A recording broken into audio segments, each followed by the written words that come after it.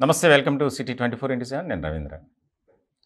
మొత్తానికి తెలంగాణ రాజకీయాలు ఏపీపై ప్రభావితం చూపుతున్నాయి అనడానికి చాలా ఉదాహరణలు మనం చెప్పచ్చు. ఇప్పుడు తాజాగా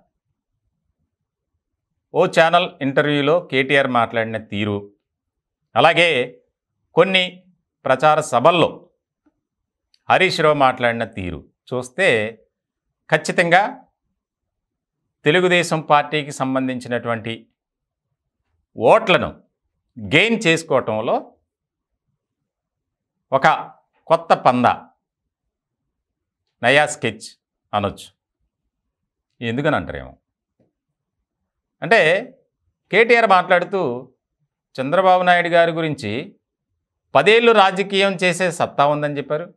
అలాగే హరీష్ రావు చంద్రబాబు ఆయన అరెస్ట్ విషయంలో తప్పది అలా చేయకుండా ఉండాల్సింది. నేను తెలంగాణ వ్యాప్తంగా చంద్రబాబు నాయుడు గారి అరెస్టును ఖండించిన వారిలో మొదటి వ్యక్తిని అని చెప్పి హరీష్ రావు అన్నారు. అంటే ఇప్పుడు ఇద్దరు వ్యాఖ్యలు సంబంధం లేదు అసలు వాస్తవానికి. ఇప్పుడు తెలుగుదేశం పార్టీ పోటీలో లేదు.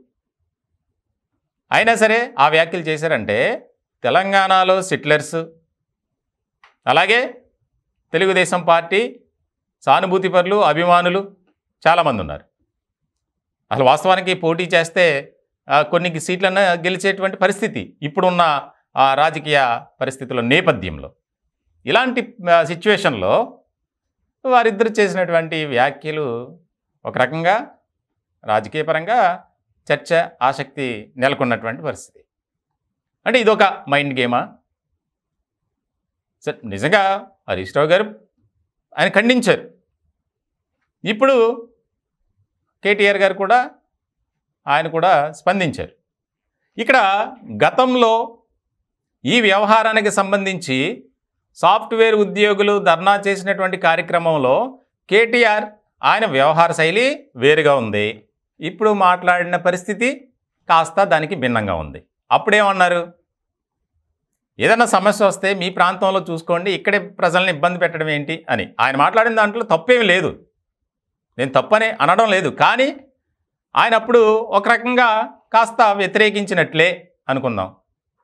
అవునండి ఇప్పుడు డి తెలంగాణ హైదరాబాద్ ఇష్యూకి సంబంధించి ఢిల్లీ రాజధానిలో చేయట్లేదా?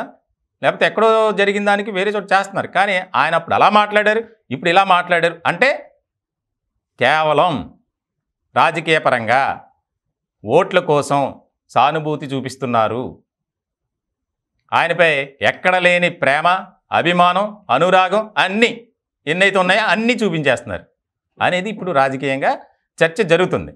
వాస్తవానికి ప్రతి ఒక్కరికి అర్థమవుతుంది కదా. ఎందుకనంటే ఆ ఎప్పుడూ లేనటువంటి అంశాలను తీసుకొచ్చి మాట్లాడటం ఇలాంటి సందర్భంలో ఒక రకంగా ప్రజల్లో ఏంటి ఇలా జరుగుతుంది ఏంటి ఇలా మాట్లాడారు అనే అయోమయ పరిస్థితులు కూడా ఉన్నాయి. రాజకీయంగా ఎవరి సులభం కోసం వారు ఎదుటి వ్యక్తుల్ని వాడుకుంటారు వాళ్ళతో ఆడుకుంటారు అని మనకు తెలుసు.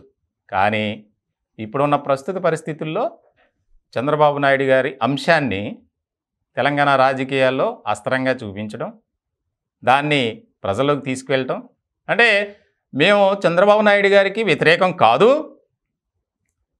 మేము ఖండించాం. మాకు ఆయన చాలా కావాల్సినటువంటి వ్యక్తి. లోకేష్ గారితో రెగ్యులర్గా కాంటాక్ట్లో ఉంటాం. ఈ వ్యాఖ్యలన్నీ ప్రజల్లోకి వెళ్తే ఆ ప్రజలు ఎవరైతే ఉన్నారో టీడీపీ సానుభూతి పరులు ఆ ఓట్లు మనకు రావచ్చు మనం గెయిన్ చేసుకోవచ్చు. బీఆర్ఎస్కి లాభం చేకూరే విధంగా వీళ్ళ వ్యవహార శైలి ఉంది. ఇప్పుడు ఇదే దీని మీదే ఎక్కువగా చర్చ అనేది జరుగుతుంది.